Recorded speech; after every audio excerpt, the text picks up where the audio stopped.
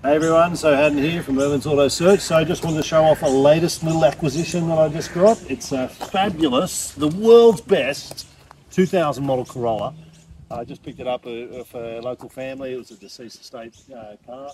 Um, absolutely gorgeous. A credit to its previous owner. Really, really well looked after. Um, it's the a shape. It's the uh, it's got the curvy kind of body to it, which is um, come around this way, David. Come and show everyone the nice shape of the car. So it's got that nice, you know, swoopy kind of shape to it, which I enjoy. And uh, in the inside, come a look at that material. Check that out. Absolutely pristine.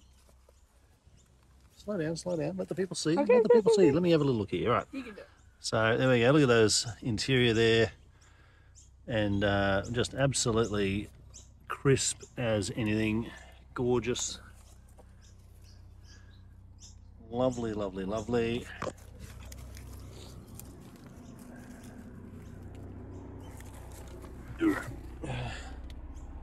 All the gear.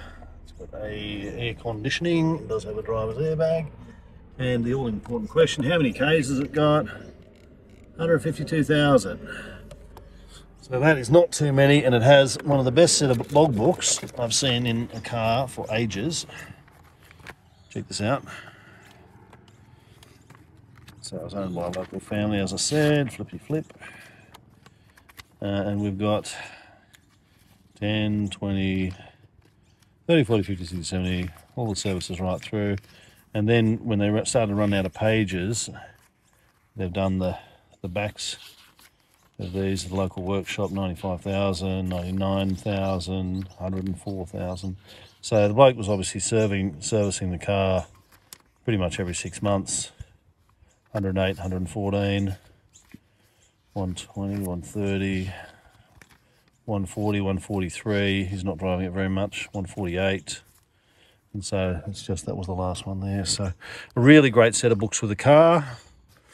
And it is auto, it is air steer, and it is uh, got the uh, the driver's airbag. I don't know if it gets a passenger airbag, um, but just a lovely car, very plain Jane.